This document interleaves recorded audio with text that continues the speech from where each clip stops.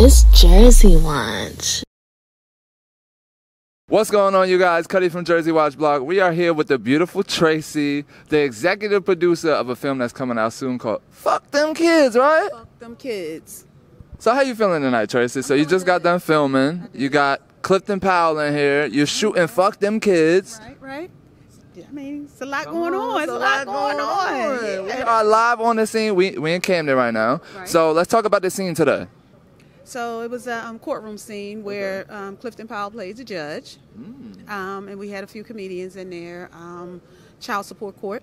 All right. So this is an epic scene for the um, the movie. So Okay. yeah. And this is an independent production. So let's talk about your company. So the name of my company is Trade Park Productions. Okay. Um, one movie I have on Tubi now is called Broken Trust. Okay. So this is my second film, and then I have about four more that'll be dropping before the winter. Mm, that is Independent. So, how does it feel to be a black woman inside of the filmmaking industry, independent, working with some big stars? How does this feel for you? It feels amazing. Okay. Yeah, it's, it's, it's amazing. You're definitely like setting a trend for all black women who want to get into filmmaking and working with big stars and even creating comedies because this movie sounds funny. So, can we talk about just the stem of the plot of the movie?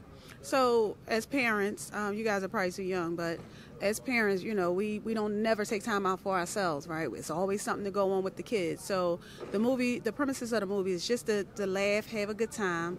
Um, at some point in your life, you got to stop and say, "Fuck them kids," and do what you want to do for yourself. And that's that's pretty much what it is.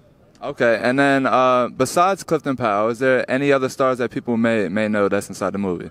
You got to come to the movie and see it. Ooh, and when can people come to the premiere and when can they watch the movie? The premiere is set for um, May. We don't have a definite um, exact date in May, but it, it will be released in May. Um, it'll be all over social media. Uh, we're starting pro- promos March 1st. Okay. And then where can people watch the movie at? It'll be streaming. Um, I can't release where the platforms that it'll be on yet, but alright. yeah, you'll be able to see it. Just know, Fuck Them Kids is coming soon. I'm sitting here with the executive producer, Tracey, and you are killing it. I want to let you know we came, we pulled up, we seen the whole scene. It's very professional, very well done. We're very happy for you, and we can't wait for the premiere. I'm looking forward to seeing you guys there. All right, so look, we're here, Jersey Watch Blog live on the scene with Tracey, independent, killing it all, all the way out here. So fuck them kids, coming soon. Make sure y'all tap in.